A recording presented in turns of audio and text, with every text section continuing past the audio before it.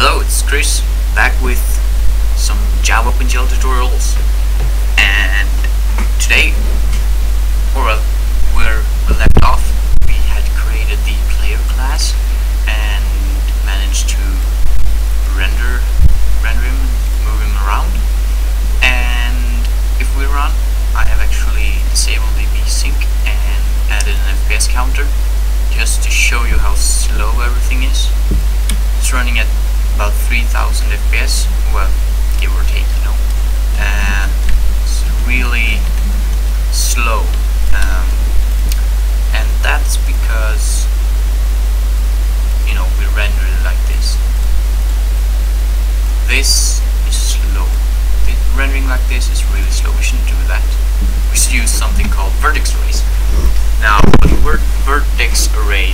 does is pretty much removes the amount of uh, draw calls that you have to do. Um, you can read read up more about those if you want to know more than what they actually do. Um, to be honest, in this case, I don't think it would, you know, improve the performance that much, but it certainly does when you start So I'm just gonna cover it in 2D here for you. Alright, so we need um, two float buffers that will contain our vert vertices.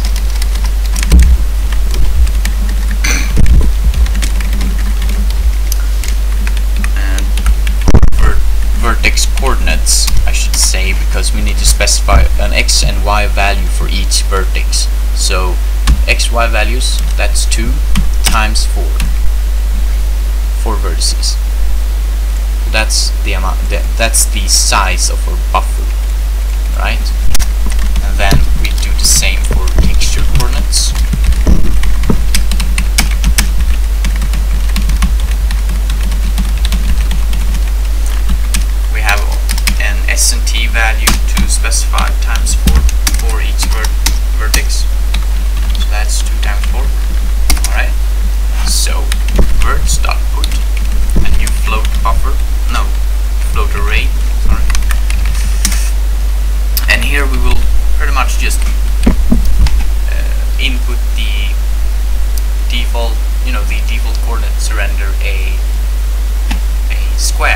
is 32 pixels wide. So if we go down here we see that we first for the first vertex we specify 0 0 and then the width which is 32 and then the width and height and then the height. So I'm gonna do that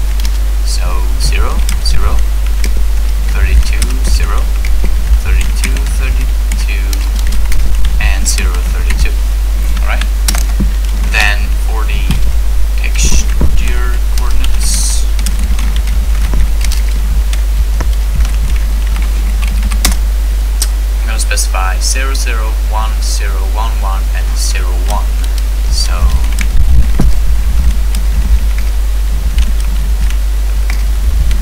Alright, so that's our texture coordinates. That's done. Now we can actually remove this ugly, slow code and get on onwards using vertex arrays.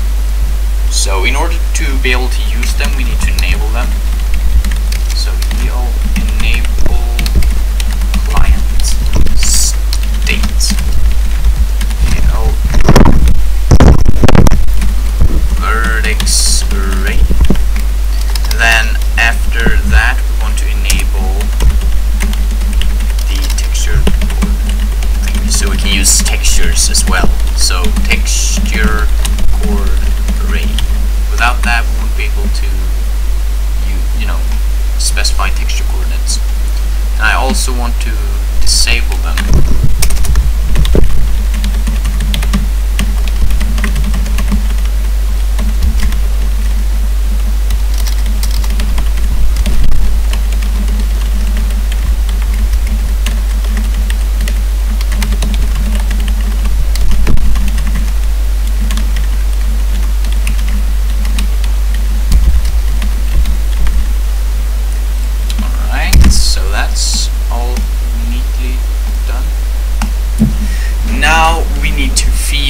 OpenGL or vert, ver, vertices and texture coordinates. So gl11.gl vertex pointer. The size is 2 stride, you know, 0. I don't really know what that is. and then the verts float buffer. And the 2 is pretty much the amount number of coordinates for each vertex.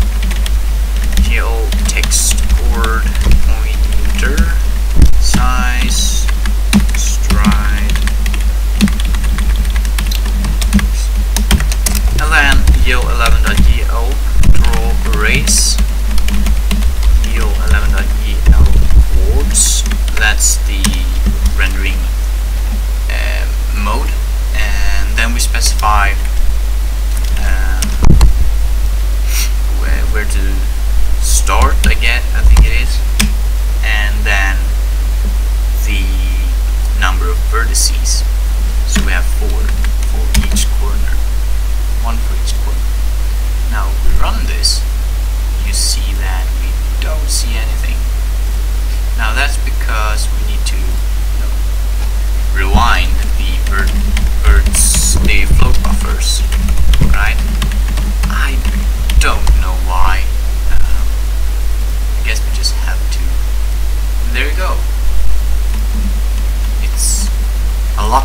Now. Can't you see? No but sometimes it may even slow slow things down. Um, but it's, it's good to use that uh, whenever you do a lot of draw calls. Um, so yeah that's vertex arrays um, yeah I hope you enjoyed I'm gonna see how long I've been recording for I can actually see that for so I'm not, yeah so if you understand everything and if you you know everything's fine you can stop now. I'm just gonna go through it. So we create two float buffers because that's how that's the way you know how the OpenGL uh, want us to specify the vertices and the you know coordinates. Uh, in C++ you can just a float array and then we put all the uh, all the value the coordinates and the yeah all the coordinates into our buffers. Then in the render we rewind those because that's how will want us to do. And then we enable vertex arrays and texture coord array so we can use them. Tell OpenGL that them and then we in, uh, feed OpenGL our vertices or our vertex coordinates and then we feed OpenGL our texture coordinates.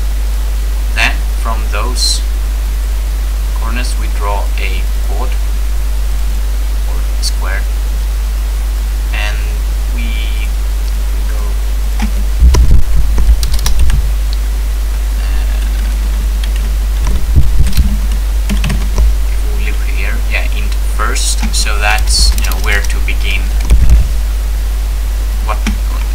index to begin